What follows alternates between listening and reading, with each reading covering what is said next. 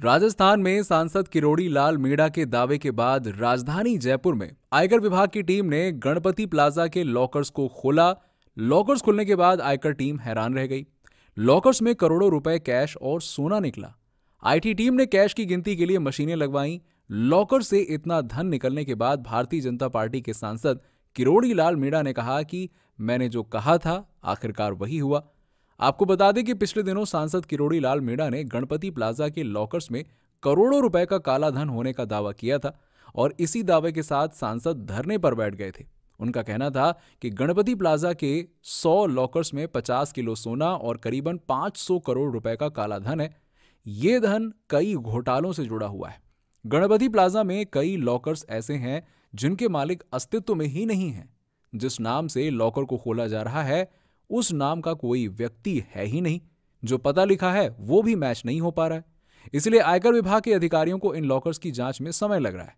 इस मामले को लेकर सांसद किरोड़ी लाल मीणा ने कहा कि गणपति प्लाजा लॉकर्स के पास पहुँचा था। वहाँ पर 1100 लॉकर्स थे, जो अवैध तरीके से रखे गए थे। मुझे सूचना मिली थी कि इन लॉकर्स में करोड़ों रुपए का धन अवैध रूप से रखा गया है। मैं सरकार से मांग करता हूँ कि बेनामी लॉकर्स का पता किया जाए। अगर गंभीरता से इस मामले की जाँच कराई जाए तो करोड़ों रुपए का काला धन बरामद होगा। इसी के साथ ही साथ ये धन इकट्ठा करने वाले लोग भी बेनकाब हो जाएँगे और इसी के साथ ही घोटाले का खुलासा हो सकेगा। भारतीय जनता पार्टी के सांसद किरोड़ी लाल मीणा ने कहा कि मैंने दावा किया था कि गणपति प्लाजा के लॉकर्स में करोड़ों का काला धन और सोना है। आज ये बात साबित हो गई है। लॉकर से करोड़ों का कैश और सोना निकल रहा है। आईटी अधिकारी सीपी सिंह ने यहाँ अकूत संपत्ति रखी थी। लेकिन जब मैंने मामला उठाया तो इसके बाद लॉकर्स खाली कर दिए गए। बेनामी लॉकर्स में काला धन रखा है। घोटाले के सरगना सीपी सिंह के लॉकरों में भारी सोना और भारी रकम की सूचना मेरे को मिली थी। अब आज वहाँ के लॉकर ढेर सारे करोड़ों का सोना उगल रहे हैं और करोड़ों की नकदी उगल रहे हैं। सीपी सिंह के जो तीन लॉकर थे, वो खाली मिले। मेरे को विश्वस्त सूत्रों ने बताया है कि जब मैंने डीओआईटी के घोटालों को उजागर किया था, जिसमें सीपी सिंह का ज़िक्र किया था,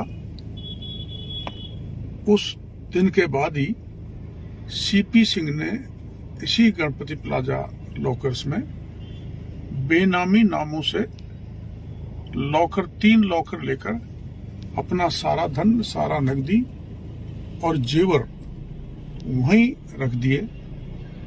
मैं सरकार से मांग करना चाहता हूँ कि उन बेनामी लॉकर्स का पता करें, इसकी जाँच गहराई से कराई जाए, और जो डीओआईटी में पाँच हज़ार करोड़ का घोटाला हुआ है, जिसकी आज बड़े ब्यूरोक्रेट्स और बड़े नेताओं तक जानी है, उसका जाँच कराया जाँच कराए जाना नितांत आवश्यक है।